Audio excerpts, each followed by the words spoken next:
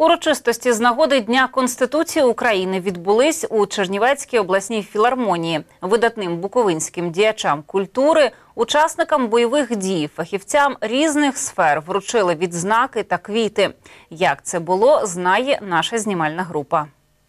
Відзначити День Конституції України у філармонії зібралось чимало буковинців, представники влади, творча інтелігенція, працівники силових структур та громадських інститутів. Ми маємо одну цінностей, на якому тримається будь-яке суспільство. Той документ, який є базовим, який фіксує права всіх громадян, незалежно від того, якої вони статі, якої вони освіти, якого вони соціального походження.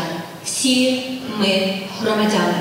Але маємо дуже добре пам'ятати, що до цієї конституції українці йшли довго, і ця дорога була дуже дуже важкою.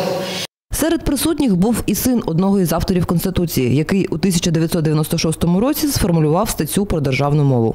Зокрема, батько дійсно є автором 10 статті Конституції України про українську мову та про мови е, національних меншин, і також про російську мову. І взагалі цікава історія поява цієї статті, тому що існувало близько 20 версій власне цієї статті, і та батько як філолог також долучився до формування її.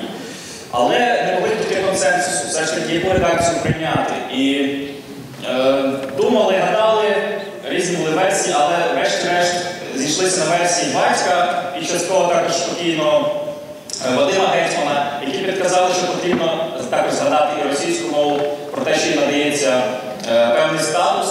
І, власне, за рахунок цього тоді вдалося проголосувати цю статтю, тому що е, подумали, що цим самим надаються преференції російській мові, що насправді не було так саме так. Вже пізніше, прокинувшись після безкінечної е, конституційної ночі, вони зрозуміли, що зробили певну помилку, але дійсно батько є назавжди е, співавтором, одним з головних авторів 10 статті Конституції України. Багато хто хотів примазатись до авторства цієї статті, досі намагається примазатись, але є факт, є фактом, є дійсно документально затверджено, що батько є співавтором е, 10 статті Конституції України. Власне, тепер, в тому числі завдяки цьому, ми можемо розмовляти українською мовою, а також на захищені е, мови інших національних в тому числі е, російською мовою.